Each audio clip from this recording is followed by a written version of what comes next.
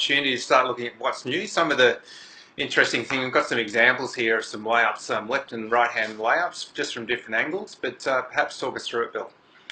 Yeah, Tim, as you notice here, we've referred to the first step when they take control of the ball as being zero, and then the, uh, the next movement is the next step, which is step one and step two. So in principle, um, the rule is pretty much the same in terms of you're allowed um, two steps. However, the difference is when you take control of the ball, when one foot is on the ground, that foot is regarded as being zero. The next movement would be the first step, and the second step is the, the following step from there.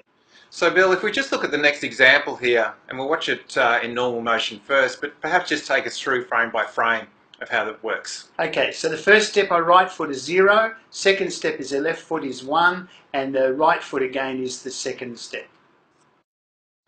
As we look at the next example, Bill, and we'll obviously replay this twice, but uh, it's really important for the referees to identify when the ball comes to rest.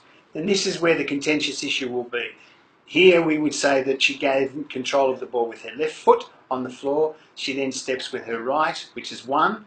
She then steps with her left, which is two. And she steps with her right again, which makes it three, and that would make it illegal.